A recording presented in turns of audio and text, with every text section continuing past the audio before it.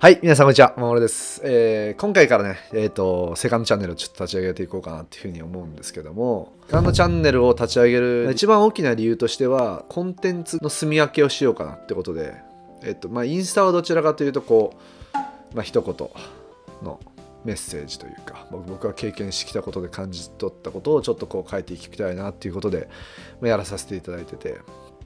まあ、YouTube はどちらかというと技術指導の方が、まあ、もはやメインになってきてるので、まあ、そこをやりながらあとはもう面白いコンテンツで言ったらちょっとミニドラマみたいなやつを作りながら、まあ、それはまあ引き続きやっていこうかなと思うんですけどセカンドチャンネルはまあそのサポートというか、はい。まあ、そんな感じでやっていけたらなと思い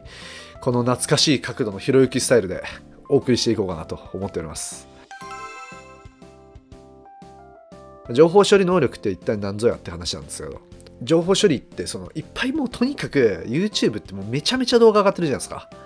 まあ、あのスターテニスさんがスターテニスさんとかともやんテニスチャンネルとかもう技術を教える指導の動画なんかももううんざりするほどあるんですよ。で僕も出してるんですね。でこれからも出していこうと思うんですよ。